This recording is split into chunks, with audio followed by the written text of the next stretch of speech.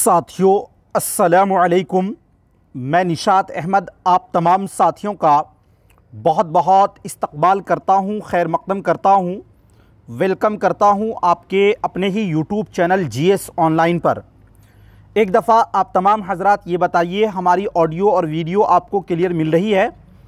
अगर ऑडियो और video clear है तो एक बार वीडियो को लाइक कर दीजिएगा। ये वीडियो खसूसी तौर पर साथियों बिहार डीएलएड वालों के लिए है। और अगर आप टेंथ क्लास की तैयारी कर रहे हैं या आप ट्वेल्थ क्लास की उर्दू की तैयारी कर रहे हैं तो आपको भी ये वीडियो काम आएगा। इसलिए आपको देखना चाहिए।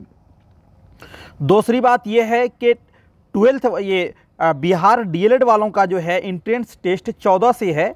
इसलिए अब आपको जो है ना, दो टाइम आज से क्लास देखने को मिलेगा।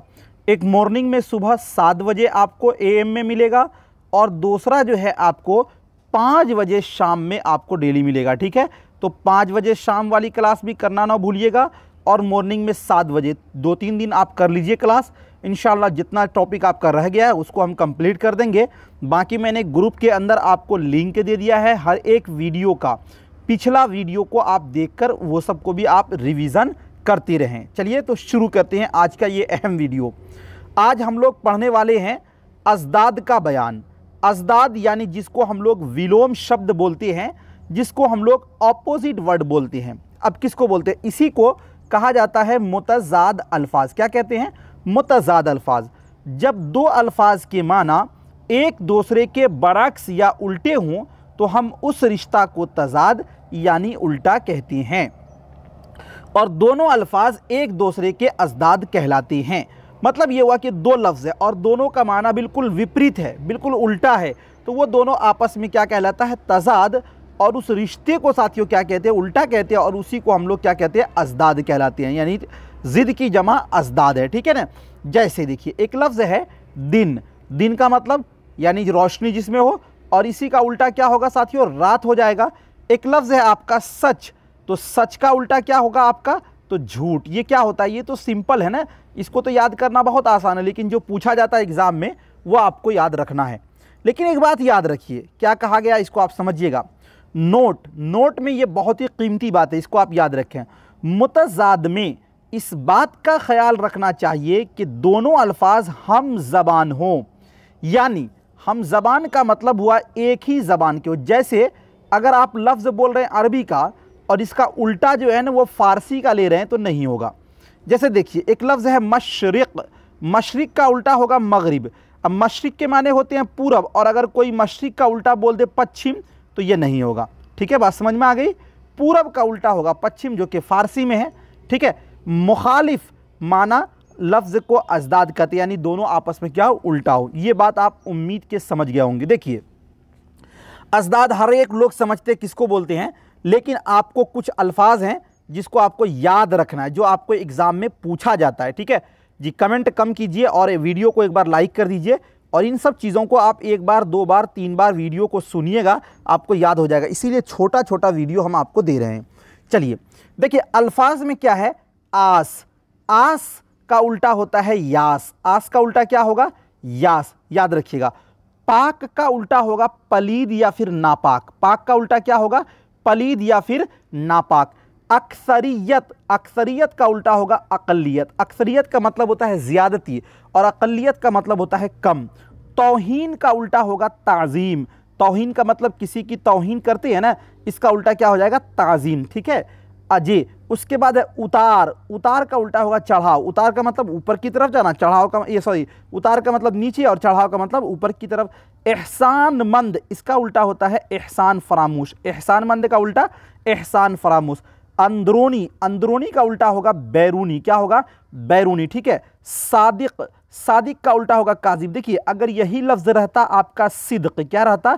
सिद्क। तब इसका उल्टा होता है किज्ब, ठीक है ना? लेकिन चूँकि यहाँ पर सादिक है तो सादिक का उल्टा इसी के वज़न पर होगा काजिब। क्या होगा? काजिब। ये बात आप याद रखेंगे। उसके बाद आगे देखते हैं। आगे आपका है साथियों, ध्यान दीजिए। अर्ज़। देखिए, अर्ज़ अर्ज़ के माने होते हैं ज़मीन तो इसका उल्टा होगा समा। और अगर यही रहता ज़मीन तो ज़मीन का उल्टा होता आसमान। क्या होता? आसमान। याद रखेंगे। लेकिन चूँकि लफ्ज़ अर्ज़ होगा तो इसका उल्टा होगा समा। आगाज़। आगाज़ का उल्टा होगा अंजाम। आगाज़ का मतलब किसी चीज़ की इब्तदा करते हैं ना, शुरू। जे, देखिए, ये लफ्ज़ आगाज़ है। अगर यहाँ पर इब्तिदा दे दिया जाता तो इब्तिदा का उल्टा होता इंतहा। क्या होगा? इंतहा, याद रखिएगा, लेकिन चूँकि यहाँ पे लफ्ज़ आगाज़ है तो इसलिए इसका उल्टा होगा अंजाम। अगर यही अव्वल लफ्ज़ होता, क्या होता? अव्वल। तो इसका होगा आखिर। हालाँकि सब एक ही माना में यूज़, इस्तेमाल हो रहे हैं। आबाद का उल्टा है बर्बाद और इसी तरह आला का उल्टा है अदना। आला का मतलब सबसे अच्छा और अदना का मतलब सबसे ख़राब। बईद का उल्टा है करीब। बईद के मतलब होते हैं दूर और करीब के मतलब होते हैं नज़दीक। अगर यही लफ्ज़ दूर दिया जाता, तब इसका उल्टा होता नज़दीक। क्या होता? नज़दीक। क्योंकि लफ्ज़ बईद दिया है तो इसका उल्टा हो जाएगा करीब। ठीक है? हकीकी का उल्टा होता है मजाजी। क्या होता है? मजाजी। बहार का उल्टा होता है ख़ज़ा। नहीं सुनते? मौसम बहार, मौसम ख़ज़ा। तो मौसम बहार, यानी जिस मौसम में पत्ता वगैरह बहुत हरियाली हो और मौसम ख़ज़ा जिसके अंदर पत्ता वगैरह झड़ जाए पतझड़ का मौसम, ठीक है?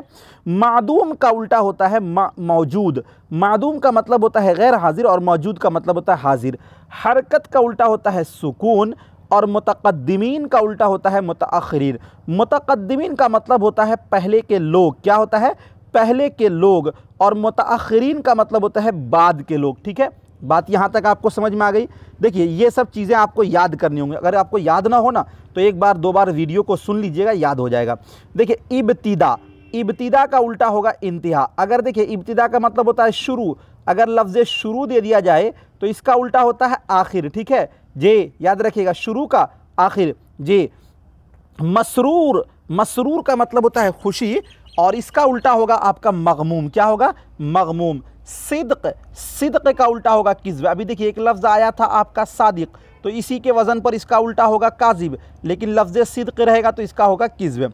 शाह शाह के माने बादशाह, इसका उल्टा होगा गदा गदा माने फ़कीर। इब्न इब्न माने बेटा और इसका उल्टा होगा बिनत यानी बिनत माने बेटी। लतीफ़ लतीफ़ के माने उल्टा हो जाएँगे कसीफ़। क्या? कसीफ़, लतीफ़ माने उम्दा। बादशाहत बादशाहत का उल्टा होगा जमहूरीत क्या होगा? जमहूरीत कामिल कामिल का उल्टा होगा नाकिस कामिल का उल्टा नाकिस ठीक है ना उसके बाद आगे है आपका मदह मदह का उल्टा होता है हिजव मदह का उल्टा हिजव ठीक है और इसी तरह कसीदा कसीदा का उल्टा मरसिया कसीदा का उल्टा मरसिया इसी तरह आपका एक लफ्ज़ है तलखी तलखी का उल्टा शीरी क्या शीरी ठीक है ना और एक लफ्ज़ है जलवत जलवत का उल्टा खलवत जलवत का उल्टा खलवत इसी तरह एक लफ्ज़ है तोहीन तोहीन का उल्टा ताज़ीम, तोहन का उल्टा, ताज़ीम। इसी तरह आपका है फ़राख। फ़राख का उल्टा, तंग। फ़राख का उल्टा, तंग, ठीक है ना? ये सब लफ्ज़ आपको याद करने होंगे, तब याद होगा, ठीक है? उसके बाद आपका है एक लफ्ज़ हाकिम। हाकिम का उल्टा होता है महकूम। हाकिम मतलब हुकूमत करने वाला, महकूम जिस पर हुकूमत की जाए। उसके बाद आपका है साथियों फ़िराक। देखिए, फ़िराक का उल्टा वेसाल। फ़िराक का मतलब जुदाई और वेसाल का मतलब मिलाप, ठीक है? एक लफ्ज़ है हिजर। हिजर हिजर के मतलब भी होते हैं जुदाई के, और इसका भी उल्टा होता है वेसाल, ठीक है? और एक लफ्ज़ है कसूफ कसूफ बोलते हैं सूरज ग्रहण को, और इसका उल्टा होता है खसूफ, ठीक है ना? चाँद ग्रहण को बोलते हैं। खादिम खादिम का उल्टा होता है मखदूम। खादिम माने खिदमत करने वाला। क्या होगा? खिदमत करने वाले को क्या बोलते हैं? खादिम बोलते हैं। मखदूम, जिसकी खिदमत की जाए। उरूज उरूज का उल्टा होता है जवाल। क्या होता है? जवाल। इसी तरह एक लफ्ज़ है गबी। गबी का उल्टा होगा जहीन। गबी मतलब जो भोता हो, कुंद जहन हो। इसी तरह एक लफ्ज़ है साथियों मोबहम। क्या लफ्ज़ है? मोबहम। गौर से देखिए। मोबहम का मतलब वो चीज़ जो वाज ना हो, यानी साफ़ ना हो, और इसका उल्टा होता है वाज क्या होगा? वाज एक लफ्ज़ है आपका रोज़ा। रोज़ा का उल्टा हो जाएगा इफ़ार क्या हो जाएगा? इफ़ार और हरारत का उल्टा हो जाएगा बुरुदत। हरारत माने गर्मी। हरारत माने गर्मी, बुरुदत माने ठंडी। खालिक का उल्टा हो जाएगा मखलूक। खालिक माने पैदा करने वाला और मखलूक के माने होते हैं वो जिसको पैदा किया गया। मखलूक माने वो जिसको पैदा किया गया। इतात इतात का उल्टा होता है बगावत। इतात का मतलब होता है हुक्म को मानना और बगावत का मतलब होता है हुक्म को न मानना। एक लफ्ज़ है आपका बंजर। बंजर का उल्टा होगा जरखेज़ बंजर नहीं जानते, बोलते हैं कि ये ज़मीन जो है बंजर है, जिस पर कुछ ना हो, और ये ज़मीन बड़ी जरखेज़ है। तो जरखेज़ मतलब वो चीज़ जिसमें बहुत सारी चीज़ें उपजती हों ज़मीन में, और बंजर यानी जिसके अंदर कुछ ना उपजता हो। उसके बाद एक लफ्ज़ है आपका तहारत।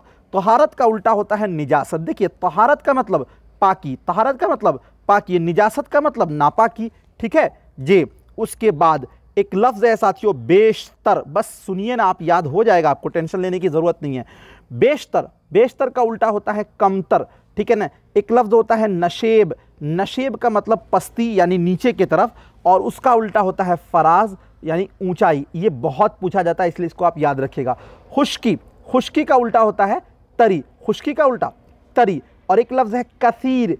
कसीर का उल्टा होता है कलील। क्या साथियों? कलील। देखिए, कसीर का मतलब भी होता है ज़्यादा के और कलील का मतलब होता है कम के। एक लफ्ज़ है आपका जिस्मानी। जिस्मानी का उल्टा हो जाएगा आपका रूहानी। जिस्मानी का उल्टा, रूहानी। और एक लफ्ज़ है आपका इल्म। इल्म का उल्टा होगा जेल इल्म का उल्टा जेल और अगर यही लफ्ज़ आलिम होता तो तब इसका उल्टा लिखते जाहिल। तब इसका उल्टा क्या लिखते? जाहिल। एक लफ्ज़ है आपका अकबर। अकबर का उल्टा असगर। अकबर का उल्टा असगर। ठीक है ना? जे अकबर माने बहुत बड़ा और असगर माने बहुत छोटा। अर्जा अर्जा का उल्टा होता है गरा।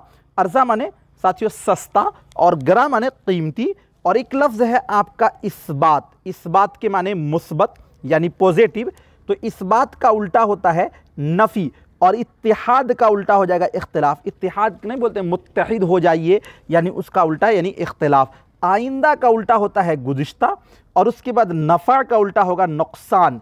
कलील का उल्टा होगा कसीर। याद रखिएगा, देखिए, अगर अकलीत रहता तो उसका उल्टा अक्सरियत। कलील है तो इसका उल्टा कसीर, ठीक है ना?